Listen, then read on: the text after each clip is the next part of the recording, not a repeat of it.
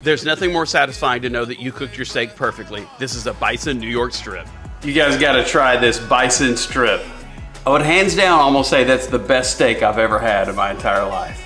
I've got two strips from the Nebraska Bison Company. Let's let those things thaw out. Pat your steaks dry, let them sit on the counter for 90 minutes, season it with some extra virgin olive oil, salt, pepper. Then it's time to put your MEATER Plus in there to track the temperature, smoke them for 45 minutes at 200 degrees. Then we're gonna sear those on the flat top until they reach an internal temperature of 130 degrees. I topped them with a tarragon and garlic herb butter out of bounds.